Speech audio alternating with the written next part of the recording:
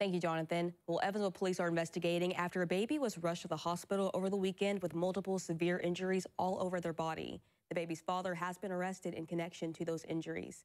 44 News reporter Ben Lawfer is in Evansville tonight with everything we know at this hour. Evansville police says 22-year-old Ali Murray is in jail after his three-month-old son was rushed to the emergency room with multiple brain bleeds and several fractures all over his body.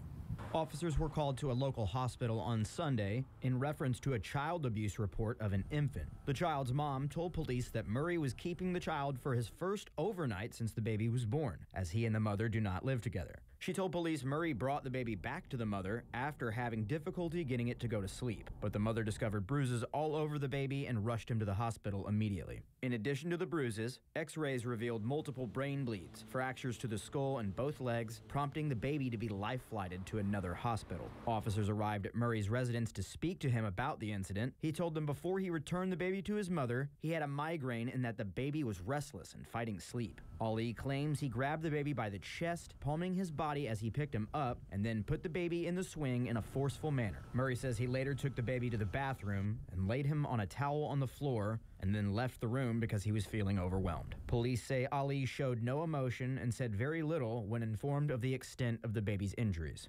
Murray is facing battery charges and was booked in the Vanderburgh County Jail on a $50,000 bond. Meanwhile, the infant's condition is still unknown at this time. Reporting in Evansville, Ben Lawfer, 44 News.